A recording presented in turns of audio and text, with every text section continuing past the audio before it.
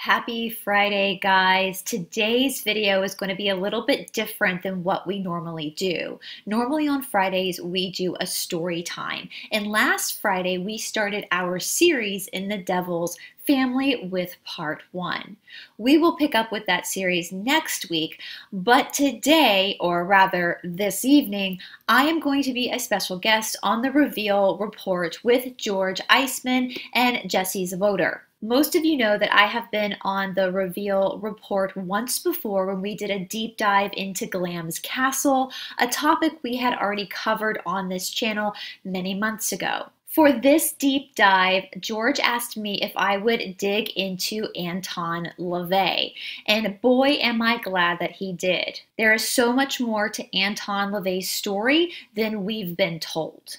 Now, I will place a link to the Reveal Reports YouTube channel down in the description box below so that you can join us tonight as well. I believe we're going to be going live at 7.30 p.m. Eastern Standard Time. If that is not the correct time, then I will place the correct time on the community tab before we go live. And yes, you heard that correct. It will be a live show, so you are free to type in questions and comments during the show.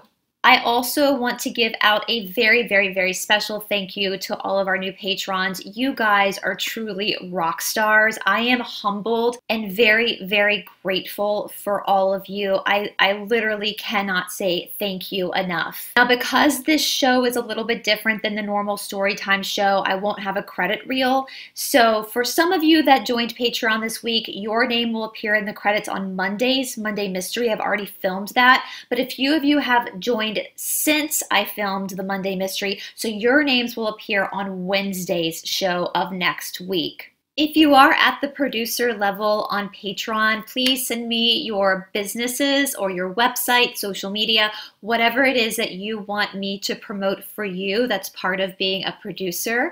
Your support goes a long way in helping us run this channel, so therefore this channel is going to do what we can to support you as well. If you're in the $10 and up bracket, make sure you're sending me in some stories that you want me to cover on this channel. If the story you send in is a little bit too risky for YouTube at the moment, I will contact you back to find a new story, but I'll probably put the risky story to the side to do later once all of our regulations and boundaries, we'll say, have lifted.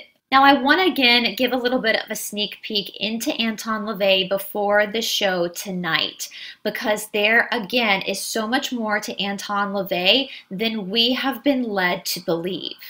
If you are like me, you probably think of Anton LaVey as a big living cartoon character. From the outside looking in, he seems just like a man who was pretty gothic, who, who kind of made a mockery of his own self and therefore seemed a little bit harmless. He did attract a lot of celebrities, but if you watch like the mainstream narrative of Anton LaVey, many people believe that the celebrities associated with Anton LaVey were doing that for publicity stunts. Let me tell you, friends, they were not doing it for publicity stunts.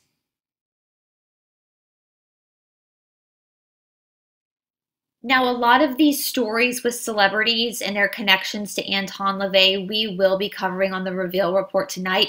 Not this morning, but tonight. So let's talk a little bit about who Anton LaVey was for those who don't know who he was. Anton LaVey was born Howard Stanton Levy on the 11th of April 1930 in Chicago, Illinois. According to the mainstream narrative, he was born into a very secular Jewish family. When LaVey was young, his family moved to the San Francisco Bay Area and he ended up attending high school just north of San Francisco. According to the legends, he dropped out at 16 years old in order to basically join the circus. You see, it is stated that Anton LaVey was extremely musically talented, which we will talk about tonight because there is a possibility that he has a granddaughter or a daughter out there that everybody knows that is also very musically talented. But again, you'll have to join us tonight for that. Anton LaVey would do musical performances allegedly for the circus, and his whole story was that while he was working for the circus, he would see these quote unquote good Christian men coming into the circuses and basically making a mockery of themselves and acting in really rowdy ways. Then they would turn around the next day and go to church on Sunday where they would pretend to be holier than thou. Anton would go on to say that this really greatly affected him and his view on Christianity. In fairness, I do know what he's talking about. Sometimes it seems that the most fundamentalist of Christians probably have the most to hide. Judge not, lest ye be judged, right? However, many people think that this whole story of him joining the circus at 16 might be a fabrication in my opinion, doesn't really matter because I questioned the inception of Anton LaVey from the very beginning. Since I've looked over his whole story, I do believe that he was placed where he was placed for a very specific reason by the powers that be. You guys know who those powers are that I am referring to.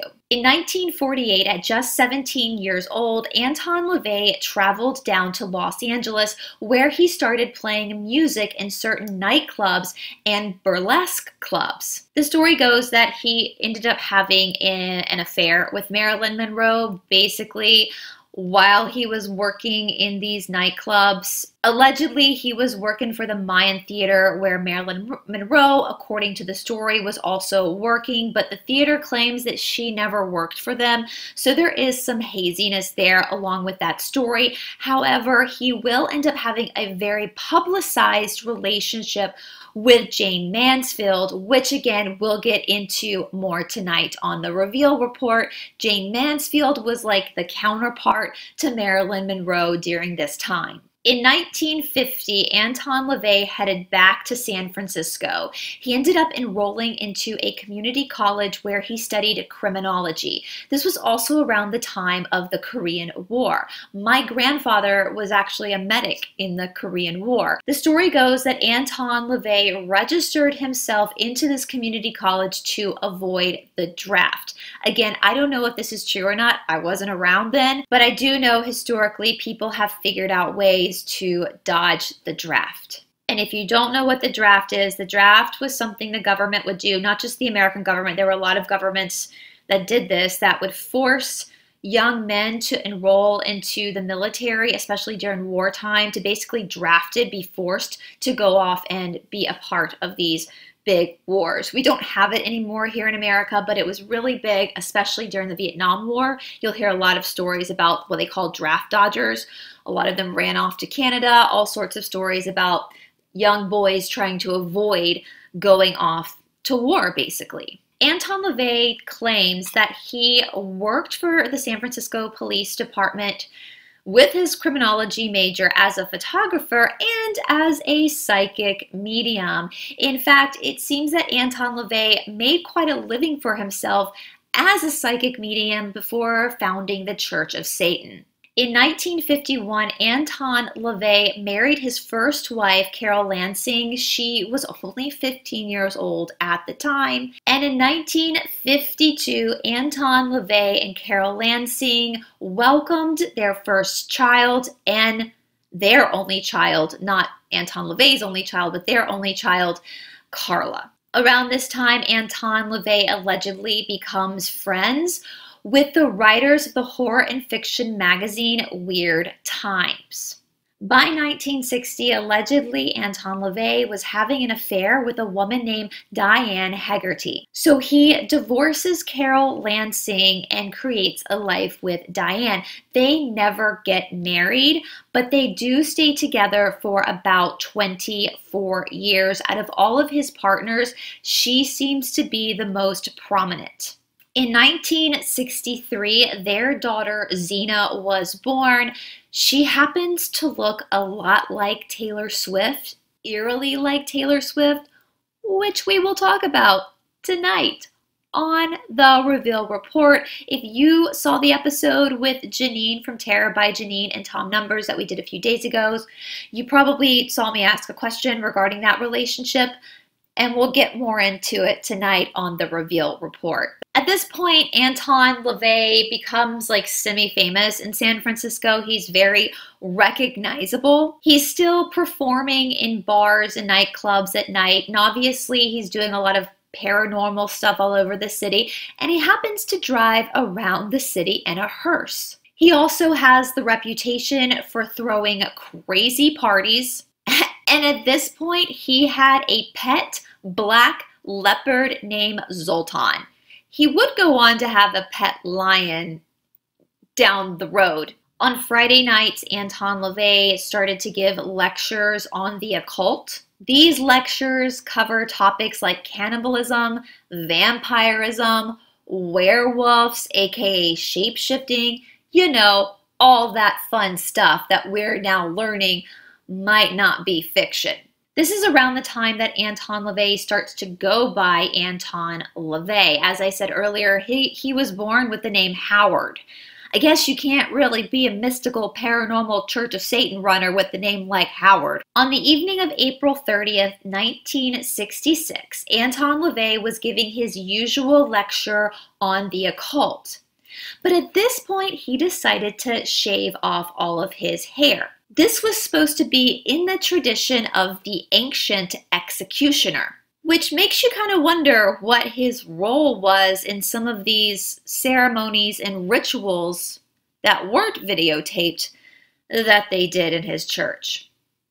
This was also the night that he declares that the Church of Satan is founded. Anton claims that this is a faith based on carnal needs of man to be selfish. He sets the altars up a lot like the black mass altars that we've studied in prior videos, where there's typically a naked woman laying in front of the altar and all sorts of stuff happens around her that I can't really talk about on this channel. Anton LaVey also declares 1966 to be year one, or Anno Satanas, the year one of the age of Satan. Anton LaVey, as I said in the beginning of this episode, in my opinion, before studying him, reminded me a lot of a cartoon character. He was very eccentric, very theatrical, and with this type of personality, he did start to film a lot of his antics. He would recreate rituals that were performed by the Knights Templar, voodoo, and Norse practices. He started to teach people magic. He also started to perform weddings and funerals. He also started working on the Satanic Bible. Now, I'm going to read to you the nine statements of the Satanic Bible. Again, we will get more into this with George and Jesse tonight on the Reveal Report because I've never practiced the occult. There is a limit to my understanding when I review this stuff. So I'm probably going to kick the ball over to them tonight when we get to this topic to have them kind of fill in the blanks that maybe I've missed. So the nine satanic statements are Satan represents indulgence, not abstinence. Satan represents vital existence instead of spiritual pipe dreams. Satan represents undefiled wisdom instead of hypercritical self deceit. Satan represents kindness to those who deserve it instead of love wasting on ingrates. Satan represents vengeance instead of turning the other cheek. Satan represents responsibility to the responsible instead of concern for psychic vampires.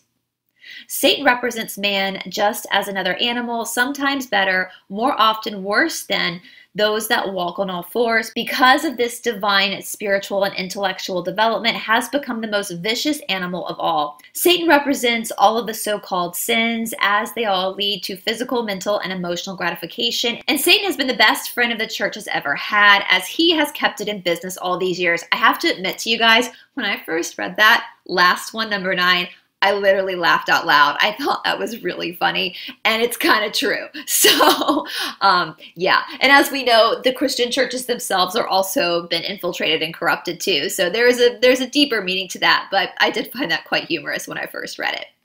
Now, on February 1 of 1967, Anton LaVey had his first satanic wedding. This was between journalist John Raymond and NYC socialite Judith Case. LaVey is now called the Black Pope. At three years old, LaVey's daughter Zeena is baptized to the left handed path of Satan. This is recorded onto an album called The Satanic Mass that you can still look up on YouTube today and listen to. Now, Zeena seems to be the child out of all three of his children that he is going to utilize the most. And again, we're going to get into that tonight on the Reveal Report. Zeena's mom, Diane, also considered herself to be a sorcerer and the co-founder of the Church of Satan with her dad, Anton LaVey. Let's just say Zeena herself has had a very rough life. In 1975, Michael Aquino becomes the editor of the Church of Satan newsletter. We have heard a lot about Michael Aquino in these last few years. In my opinion, he's a very, very, very dangerous man. Michael Aquino would eventually leave the Church of Satan to form his own like subset of Satanism, and this was called the Temple of Set. Michael Aquino claims to have invoked Satan when he felt LaVey was not doing Satanism right. He also claims that Satan like showed him a special text that nobody else has seen. Like Michael Aquino is now the Satan's chosen one and he's going to like reveal to him this hidden text that's called Coming Forth by the Night. He also claims that in this moment of invoking Satan that Satan revealed to Michael Aquino that Satan's real name isn't Satan but Set, which was an Egyptian god's name. These temples of Set have now been established all over the United States. Michael Aquino is also a political scientist as well as a military officer. He has been accused of doing some really bad things with human beings in this dark group of people, which again, we're going to elaborate on with the reveal report tonight. In 1984, Diane Hegarty and LaVey split, and she actually files a restraining order against him. There's not a whole lot of detail as to why she filed a restraining order against him, but the claims their daughter Zeena would go on to make makes you really wonder what was happening in that house before she left. Then we see the entrance of Blanche Barton, and she becomes Anton LaVey's final partner. She was born Sharon Lee Densley on October 1, 1961. So she is younger than his oldest daughter, Carla. Just going to put that out there. In 1993, Anton LaVey and Blanche Barton have their son. This is Anton LaVey's third and final child. They name him Satan Xerxes Carnacki LaVey. I mean, you're going to name your kid Satan. That's disgusting. LaVey did appear in her book called The Secret Life of a Satanist. Now, there's not a whole lot out there about their son, Satan. He's, what, 10 years younger than me, so he would be, what, like 27, 28 today. And that's okay. I, you know, I don't blame him for not really having a social media presence, or if he does have a social media presence, it might be under another name because naming your child Satan is rather unfortunate. Now, I have some speculations about their son Satan and his relationship with their dad that I will be talking about tonight on the Reveal Report. Again, not going to get into that right now. This is just a sneak peek. Um, but again, these are just my speculations. Some of the stuff we can't really prove. It's just kind of connecting the dots. Now, Anton LaVey died on the 29th of October, 1997. He died of a pulmonary edema. He was 67 years old. That's still pretty young. After he died, we do get into a bit of family drama. On November 7th, 1997, so a few days after he passed away, Carla LaVey, which is again his, his oldest daughter, held a press conference to announce her father's passing. Carla announced that she and her stepmother, Blanche Barton, who is 10 years younger than Carla, would be co high priestess and would co run the Church of Satan. Barton had already tried to take that role from Satan, the high priestess role, before Anton LaVey died, but he kind of corrected it. You see, Zeena had been in that role before, the middle child, Zeena, the girl that he really used. But Zeena fled from the Church of Satan in 1990, which again we'll get to later on tonight with the reveal report. A few days after this press conference where Carla announced that she and her like pseudo stepmother would kind of co-run the, the family business, we'll say, Barton then magically found this like handwritten letter from LaVey claiming that everything he had, all of his royalties, everything was supposed to go to Barton and their son, basically icing out Carla and Zeena, the other two children. Now, again, this was conveniently a handwritten letter that Barton just happened to find. Well, Carla took it to court and contested it, and of course, the court ruled in Carla's favor. So after Carla contested this fake will and a settlement was reached, basically ruling in Carla's favor. All the LaVey belongings would be divided amongst his three children equally, which is fair. This also include, included all the money and royalties. However, Barton was given the Church of Satan. So Carla then went and opened up the first satanic church on Halloween of 1999. So she was basically like, F you, I'm just going to go open up my own church because I'm actually Anton LaVey's daughter, so I could probably draw a bigger crowd than you can, Blanche. The same year, Barton tried to raise about $400,000 to save what they called the Black House. This was the house that Anton LaVey was famous for owning in San Francisco. Yes, it was all black. This is where a lot of his ceremonies took place, all that kind of stuff. It is stated that potentially that was his parents' house and he just kind of took it over and then painted it black and made it kind of a spectacle. Anyway, Blanche did not, she could not raise the $400,000, so they ended up tearing down, the state tore down the house, and now their condos there. So some interesting information about Anton LaVey. He heavily supported eugenics. I know somebody else who heavily supports eugenics.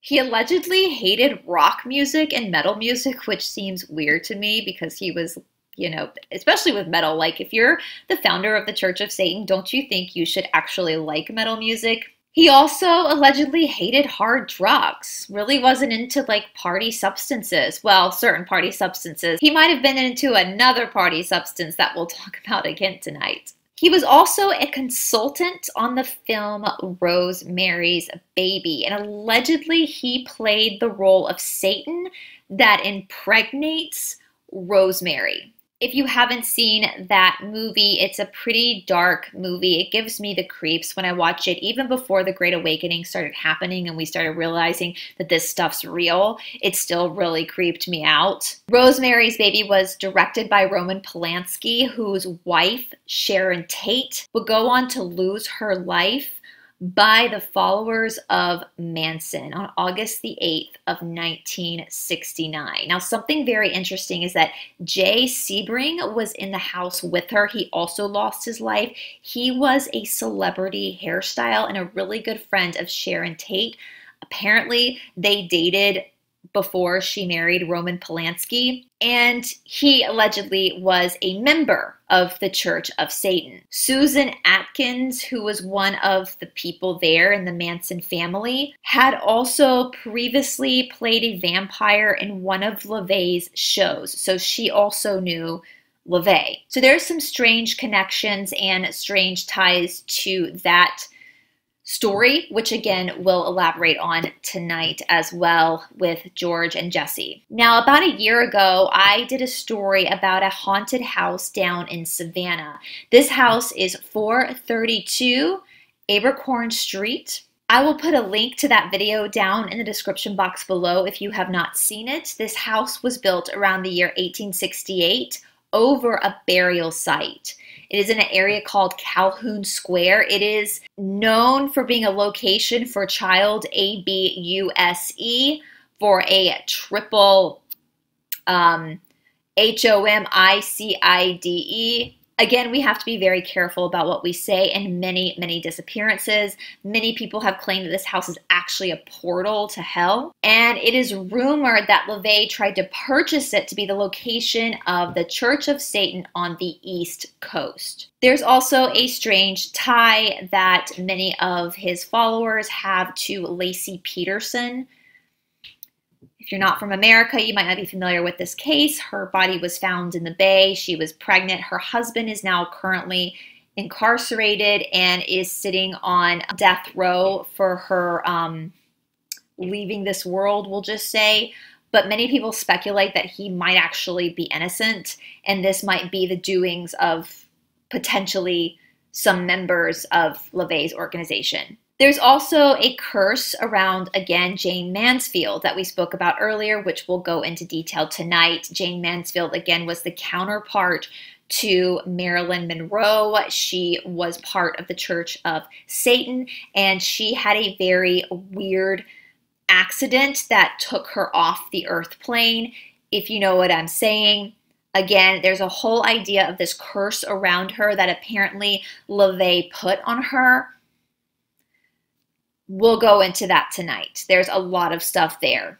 We're also going to go deeper into what they call the satanic panic of the 1980s. The mainstream story is that it was all just a big, like, bunch of baloney, and a lot of this, like, satanic stuff wasn't really happening, which now we know it, it probably was. At this point, before Zeena had left the Church of Satan. She was the Church of Satan spokesperson, where she had to go out and basically gaslight the situation and make it seem like it was ridiculous. And all the Church of Satan was was just a religious organization where humans were humans and nothing more. Now, again, Zeena would go on to leave the Church of Satan and disconnect from her family and go on to kind of whistleblow on certain activities, which we'll get into tonight. And of course, tonight we will also talk about Taylor Swift. So that's all we're going to go over this morning. I just kind of wanted to give you guys a debriefing of who this person was because I know many people, especially those that maybe don't live in the United States,